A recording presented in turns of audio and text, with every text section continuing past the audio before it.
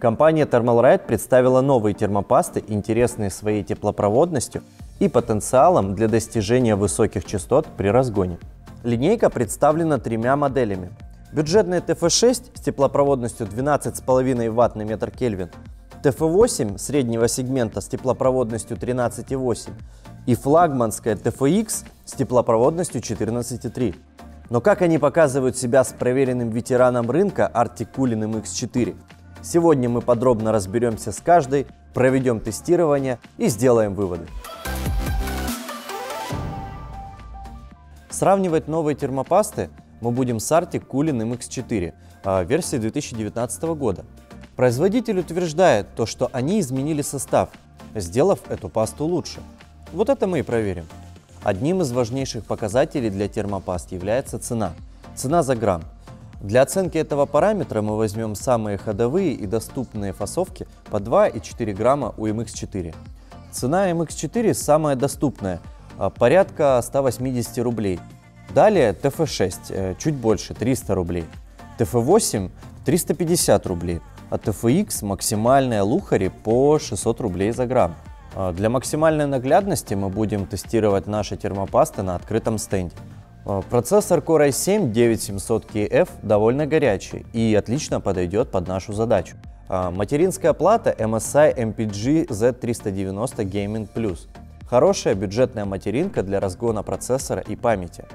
Видеокарточку выбрали погорячее. Гигабайт AMD Radeon RX 590 Gaming – она производительная и горячая. Под проверку теплопроводности отлично подойдет. Кулер Arctic Freezer 34E Sports.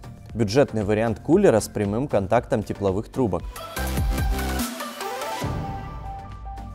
Thermalright TFX. Термопаста жидкая, выдавливается легко, но консистенция вязкая. Быстро застывает и остается на лопатке почти все, что выдавил. Наносится крайне проблемно. У ТФ8 консистенция тоже жидкая, выдавливается легче, чем ТФX. Также вязкая, но в отличие от ТФX не так быстро застывает, наносится хорошо. У ТФ6 самая жидкая консистенция и более светлый оттенок, сильно выделяется среди всех. Мажется легко, намного меньше остается на лопатке, чем от TFX и от TF8. У MX4 стандартная жидкая консистенция, благодаря силикону в составе отличается по цвету и легко наносится. Небольшой лайфхак. Если вы купили термопасту, которая сложно наносится, возьмите тюбик, положите его на батарею или опустите в стакан с горячей водой. Тогда она будет наноситься гораздо легче. Замеряем температуру в простой системы в режиме рабочего стола в течение 15 минут без ухода в сон или гибернацию. Фиксация минимальной температуры через HV-Info 64.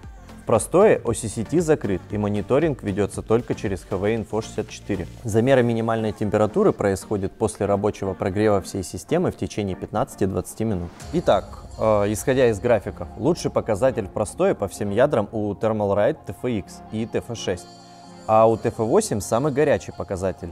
Но мы не исключаем вероятность погрешности, так как по паспортным данным и в нагрузке показатель у TF8 выше.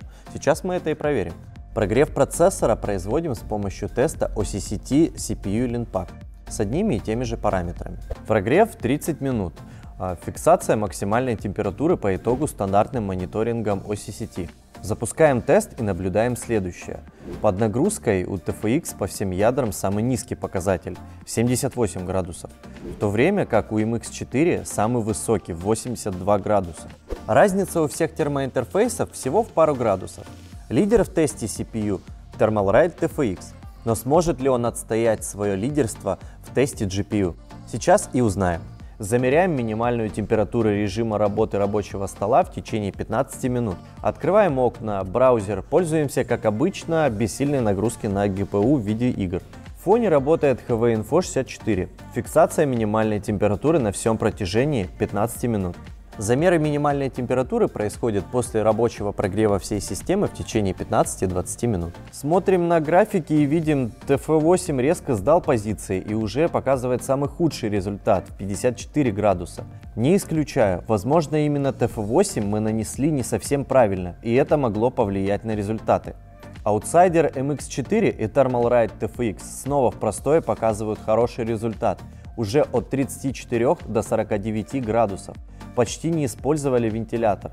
Только при достижении 50 градусов включался вентилятор и охлаждал кристалл. Теперь давайте проверим, как термопасты проявят себя в нагрузке.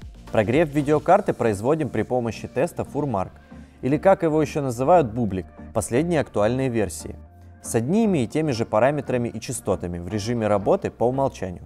Прогрев 30 минут. Фиксация максимальной температуры по мониторингу в самом Furmark. Запускаем Furmark и на тесте можно увидеть следующее.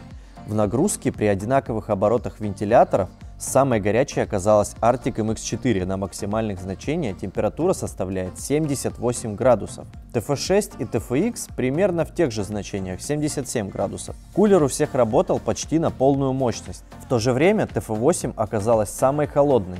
Максимальная отметка не превысила 75 градусов. В первую очередь стоит уточнить один важный момент – Производить тесты на свеженанесенную термопасту не совсем корректно. Да, с течением времени термопасты могут менять свои свойства и эффективность. Но у нас нет возможности провести долгосрочный тест длиной в несколько месяцев.